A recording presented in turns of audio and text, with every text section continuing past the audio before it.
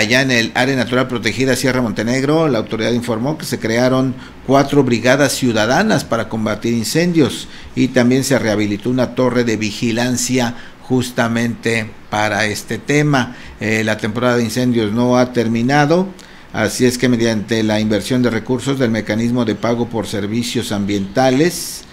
eh, por medio del Centro Estatal de Emergencias y Contingencias Ambientales, se capacitaron a 10 brigadas integradas por 40 personas que pertenecen a los núcleos agrarios de Yautepec, Bonifacio García, Tepetzingo y Temimilcingo,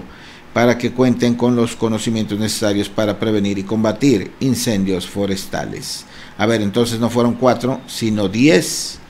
integradas por 40 personas.